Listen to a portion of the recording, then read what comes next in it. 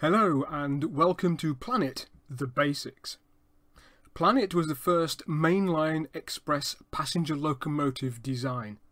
Delivered in October 1830, just over a year after the triumph of Rocket, designed by father and son team George and Robert Stephenson at the Rainhill trials, Planet was a step change from what had gone on before. The design of Planet had a modern boiler, a boiler with a proper smoke box with a chimney on top at the front end and a firebox within the boiler shell at the rear. She had a steam dome with an internal steam pipe for thermal efficiency. The cylinders were mounted horizontally underneath the smoke box to keep them warm. Because the cylinders were low down and horizontally mounted, they drove through a crank axle. And finally, the whole locomotive was supported with a set of proper frames, frames we call sandwich frames, made from lengths of ash or oak timber sandwiched between plates of wrought iron, the whole held together with bolts. Her designer was Robert Stephenson. He was the only son of George Stephenson, described by the Victorian know-it-all Dr. Dionysius Lardner as the father of the railways. Robert was born in his father's cottage in 1803.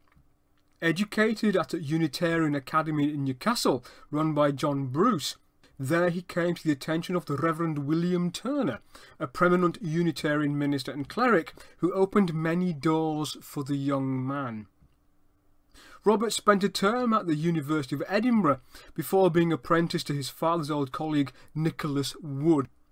Wood had, of course, been a judge at the Rainhill trials and had even granted the Stephensons permission to try out Rocket on the colliery railway where he worked. But that, of course, is another story. Planet, like Rocket before her, was built at Robert Stephenson and Company's works at Forth Street, Newcastle. The company had been established in 1823 by prominent Quaker businessman Edward Pease, who was a majority shareholder. George and Robert each held two shares each, as did Michael Longridge, their business partner, and he was the manager of the Bedlington Iron Works. Whilst well known as a locomotive builder, Stephenson and Co. were general engineers and iron founders, making everything from steam engines to cast iron water tanks. The design of Planet had been inspired by the steam road coaches of the Quaker engineer Goldsworthy Gurney. Robert wrote to Longridge on New Year's Day 1828. I have been talking a great deal to my father about endeavouring to reduce the size and ugliness of our travelling engines by applying the engine either on the side of the boiler or beneath it entirely somewhat similar to Gurney's steam coach.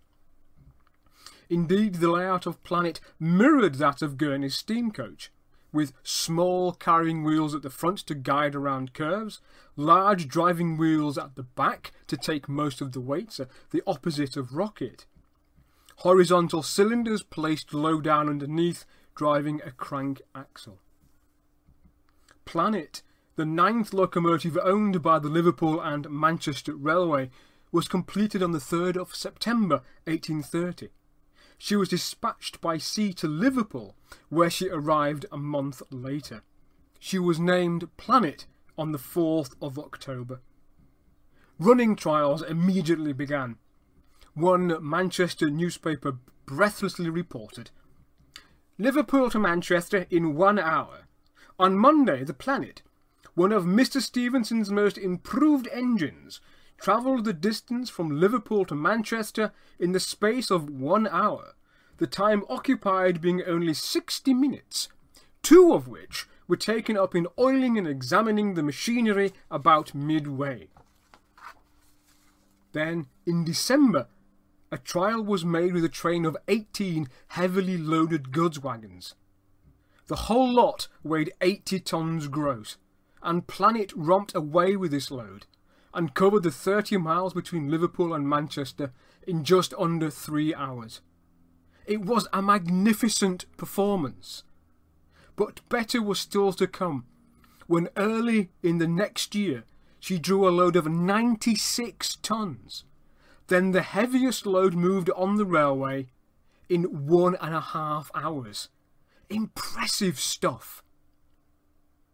So impressed were the board of directors of the Liverpool and Manchester Railway that they ordered a further 15 examples.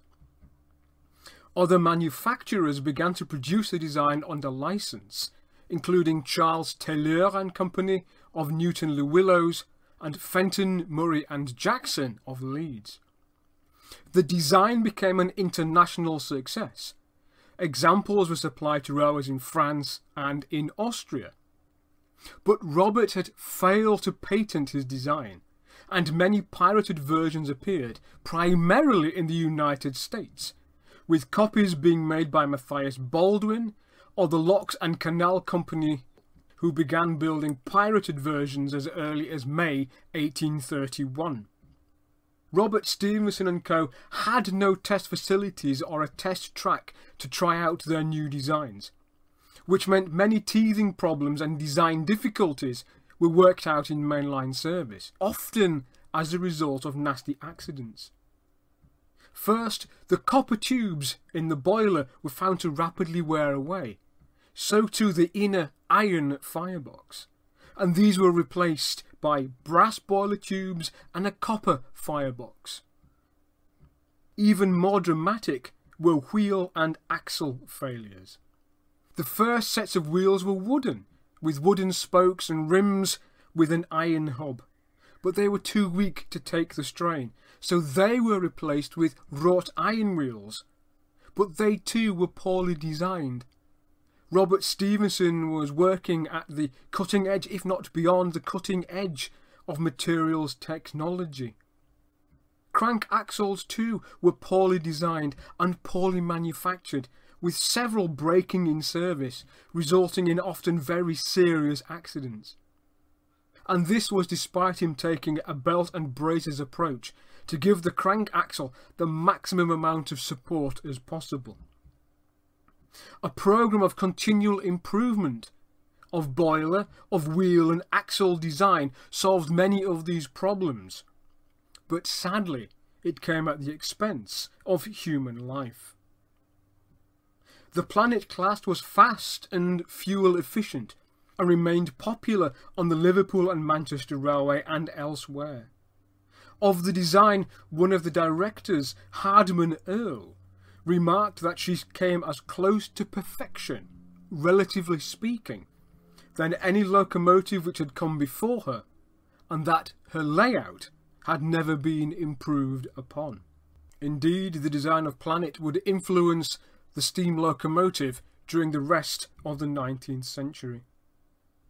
Planet, the titular member of the class, had a long working life, lasting in service until 1840 when she was scrapped. She had a few knocks and scrapes on the way, including breaking her crank axle on Chat Moss, being involved in a few nasty collisions, and being rebuilt with six wheels. A working replica was first steamed in Manchester in 1992 at the Museum of Science and Industry including many mod cons unheard of in 1830, she is as faithful as possible to the original design of the first mainline express passenger locomotive.